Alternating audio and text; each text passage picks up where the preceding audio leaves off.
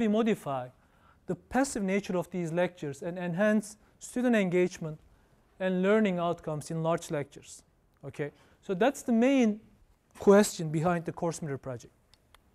So specifically, we are working on a, a mobile application.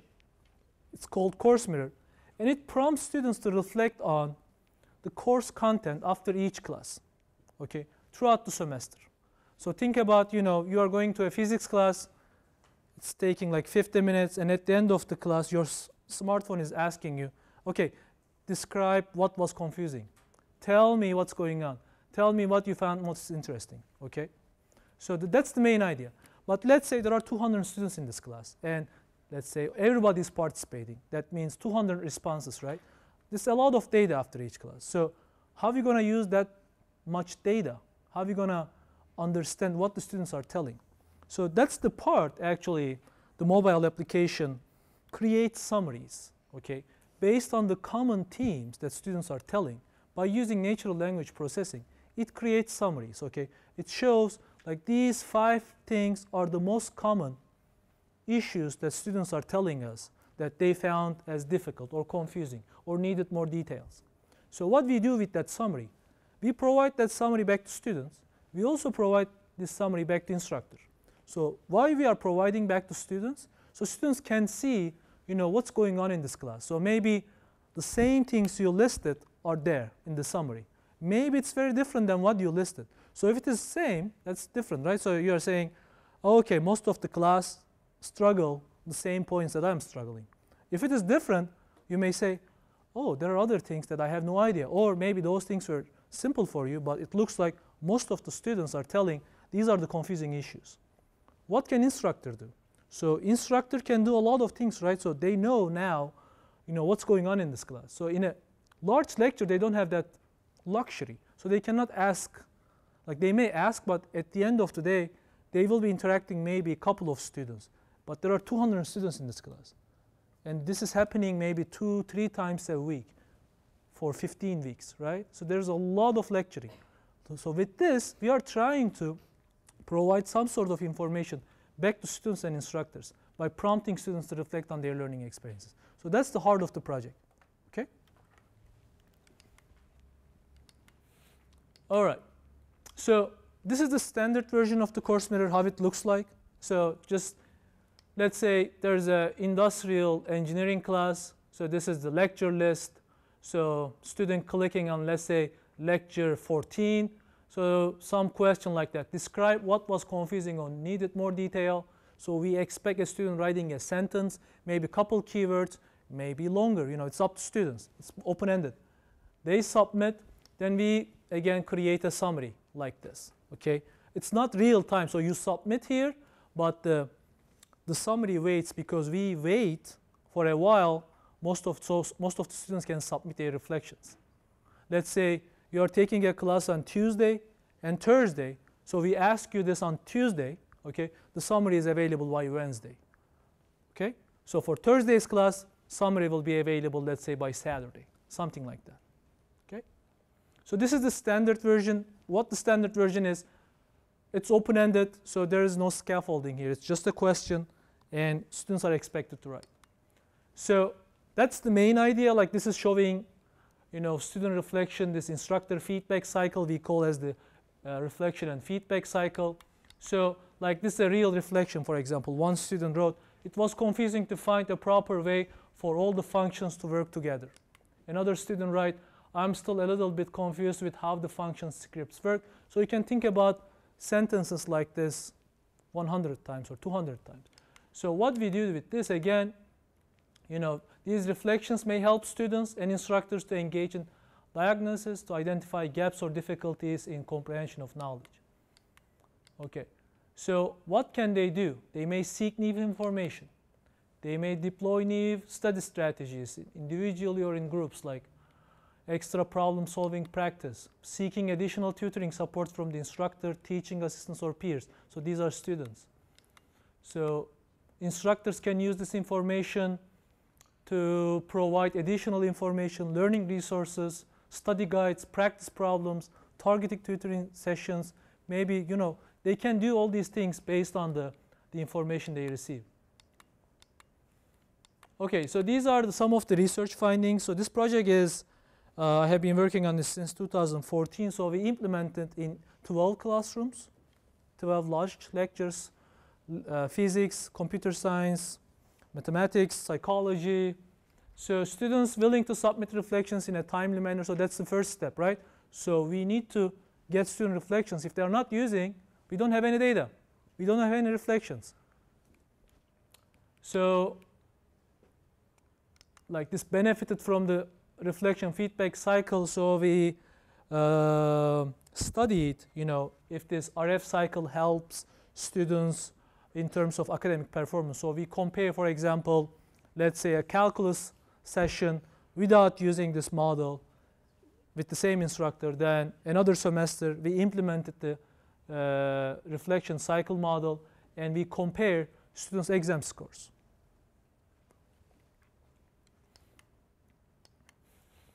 Okay, so these are based on the research finding. The reflection quality improved over time. That's another thing, like the reflection quality.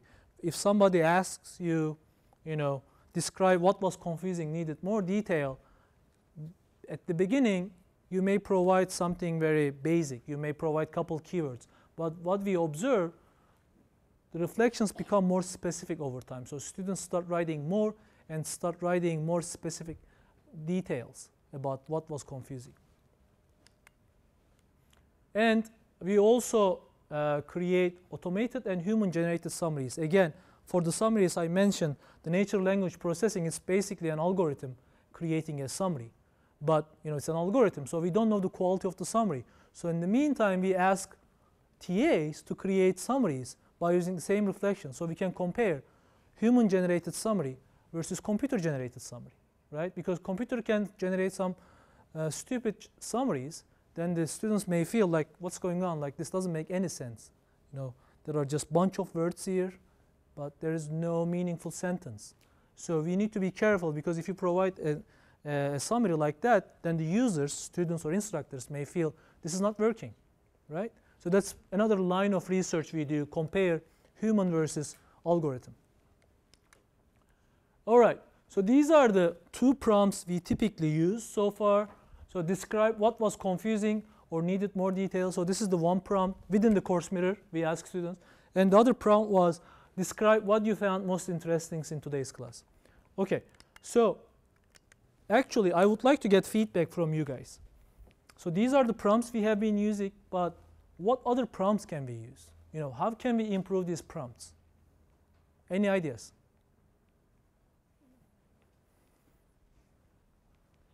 We don't always ask both of them. Like we pick one and ask, let's say, describe what was confusing or needed more details. Sometimes we ask the other one, sometimes we ask both back to back.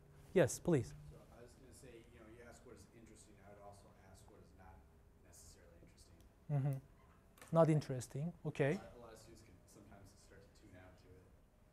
Okay. Yes, again, I'm looking for feedback. Really, please tell me.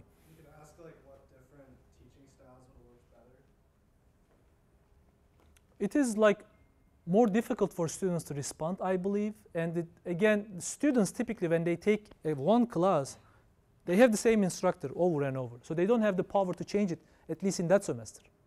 So that question might be not helpful. Let's say bunch of responses are coming related to that. What are you going to do with that information? Like, what can we improve? I mean, maybe that's valuable info. I don't know.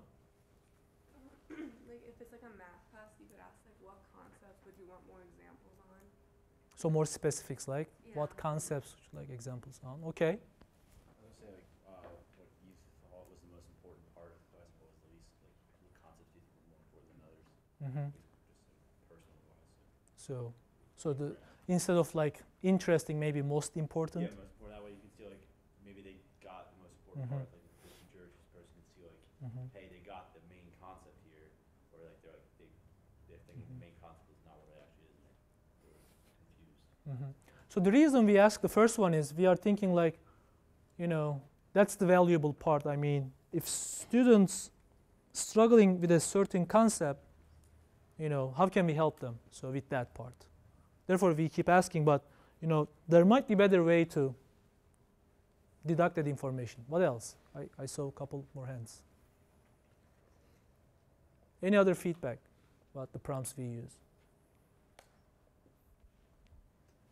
Um, one thing, and this is sort of going off of Kevin, um, for the first thing, uh, maybe going off of describing what is clear, Mhm. um, because sometimes uh, professors' instructing habits can change from semester to semester.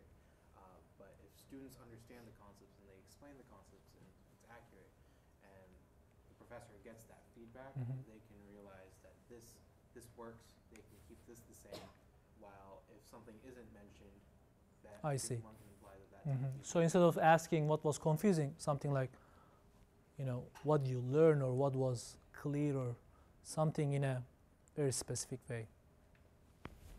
Um, so there's classes when I'm taking and not taking because like I take them because I Mhm. Um, so I may not find a lot of things interesting about that. So Mhm. I don't know if you get a lot of meaningful feedback if you ask me what was interesting. Mhm. So I can tell you about the real data. Sometimes, because it's open-ended, right? We are getting like none, nothing, NA, s- things like that. Okay. So and that is really bad for us because we would like to get as much information as possible. Therefore, I'm asking, you know, how can we make this better so we can get more reflections? And one thing I can tell, so the reflections are anonymous. For example, we don't, you know, the reflections come instructors have no idea who is writing what. It's like course evaluation after each class. But we are not talking about the, you know, you know, um, person's character or values or like we are specifically focusing on the content. You know, how can we make this content uh, better, like so you can perform well these things. Okay, I will show you another version. Okay, so the first version I show you was the standard version. We are working on adaptive version. Okay, adaptive version is, okay, same prompt, let's say, describe what was confusing or needed more details. Okay, student write nothing, right? Let's say order is like that. We ask something, this text is not appearing, so this please think carefully is not there. Okay, we ask that student wrote nothing. So we that's not an information for us. So we are re-asking. So something else appears on the mobile app. Please think carefully. A good reflections needs to be more specific. Okay, so we are again forcing student to tell us something, right? So this kind of annoying, I know, but I mean at the end of the day we would like to get information. So we are trying to prompt this person really to think about what's going on. There should be something.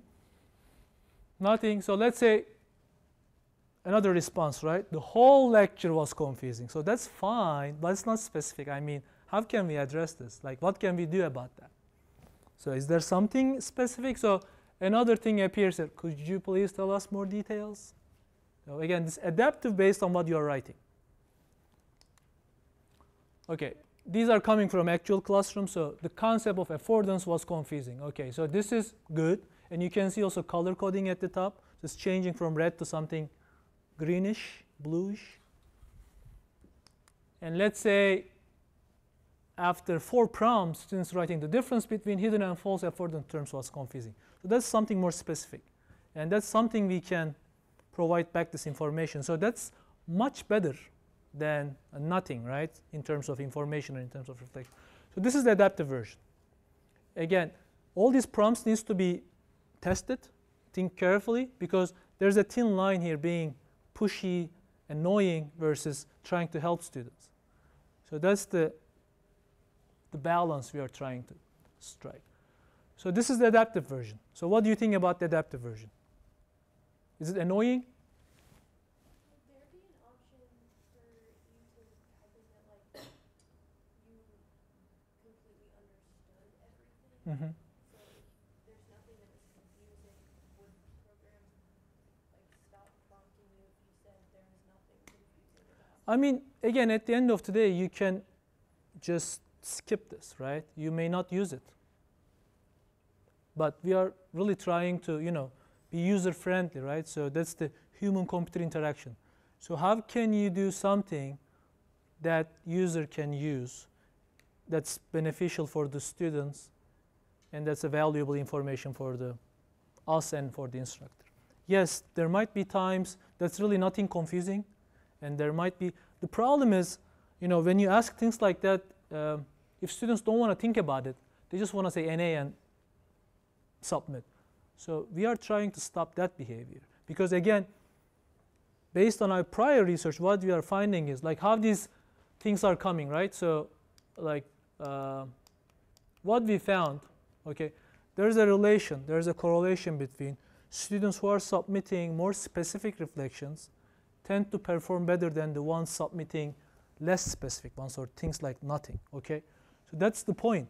But again, we don't know causality, right? Is writing a specific reflection making you a better learner for that concept? Or maybe you are already performing very well, therefore you are writing very specific reflections. So that relation is, we don't know the, the direction of the uh, causality, but we know there's a correlation. And we need to figure out if prompting students to write something more specific uh, helps them to perform better in terms of their academic performance. Okay, that's the, the main idea behind it. Okay, what else about the adaptive version? What other feedback can we get, please? Um, I'm just assuming like I didn't like say I would write this up and I didn't get a full green bar. Mm-hmm. Um, because I, I don't know how it, like I'm assuming you guys Yeah. know like keywords and how long. I mean, we may hide the green bar again. This is just for showing purposes, like what we are thinking in the behind. okay, yeah. So maybe you don't see the, the bar, but uh, you know these additional prompts, the italic ones, stop showing yeah, 'cause I just want once we are feeling confident that this is a specific reflection. Yeah, I just I don't, I don't want to write a reflection. Half of it's just filler words or I'm. Oh yeah, and yeah, right. That's another thing. Like user can game the system. They can just type a bunch of words, and the algorithm may feel, oh, this is very specific. You know, you can just put some random words there, ten of them, and the algorithm may think, oh, this is very specific because it's very long, without evaluating if the full sentence makes any sense or not. What else? As students, tell us. Sometimes I do come out of lecture feeling like that, like everything was confusing. Mhm. So I probably would get annoyed if it was like, could you tell me more? But like, I don't even know what Mhm. Yeah, I mean, at least you know, from class to class, there should be some title heading, right? So instead of whole class, maybe you may say, I mean, the friction idea was confusing. Like if this is the physics, or you know, something more specific within calculus, something more specific related to that chemistry class, that dynamic class, that heat transfer class. You know, again, we are really trying to. So that's the purpose. You know, if we can push you think a little deeper, you know, maybe this is helpful for you. I mean, if you can think not the whole class, but you know that specific example was confusing, that specific graph was confusing, um, like quiz questions, something like quiz question number five. I have no idea, something like that. So we can go back and look at the quiz question number five. So maybe like after I said that, like it give me like multiple choice options of Mhm. like topics. And like, That's the difficult part because to do that, you need to have information about every class. So we need to make it customizable for each class. Like that's the, like that would be great, but then the application needs to be very specific for a, let's say a chemistry class, for a physics class. We need to know what is on that day that you guys are learning on that. And we need to be on the same page with the instructors because they may tell us on the syllabus, this is the plan, but things may delay, then the application may start doing stupid things. And you can see list of things that doesn't actually covered on that day. What else? Could you maybe like have a blank space in each of the um, questions and just have the professor ask one of their own questions? Yes, so these questions are customizable. So there's an instructor web page. Instructor can customize if they want to. They may ask different prompts. What else? Any other feedback? Maybe if you get like a response like that, it pushes you to a different question to kind of lead you into thinking about that. Can you repeat again? I can't hear you, sorry. If you get a response like that, mm-hmm. it would lead you into a different question that would kind of guide you I see. thinking about that mm-hmm. instead of just I see. So I see screen may change. So now you're in a different screen. That's a good idea. You're saying something. Any other questions or feedback about this? And I know I don't have much time. I will just want to, yeah, I'm already out of my time. I just want to show you one more thing. So this is one way of how we are looking at the student reflection. You know, so you can look at, oh, sorry. So you see that specific for versus none, one. So that's the, for example, how we evaluate. That's the logic behind how we evaluate the student reflection. So the hypothesis behind this is as the reflection become more specific throughout the semester, we are seeing these students are performing better than the ones at the none or vague level, okay? Again, we don't know what's causing what, but we see this relation. Another thing is we are understanding the attitudes from reflection. So you can see here uh, students are telling us something about perceived difficulty. So they perceive this as the concepts as difficulty. So something may be related to their confidence about the, the class. You know, I'm confident that I will be performing well in this class. Or their interest. Or the combination of like difficulty, interest, things like that. So these are the two things we do from these reflection data. And we are thinking like in what other ways we can evaluate student reflections. I'm not expecting you to answer this question. Uh, this is the end of my presentation today. Thank you very much. Uh, if you have any questions about the course mirror or in general, that's my email address.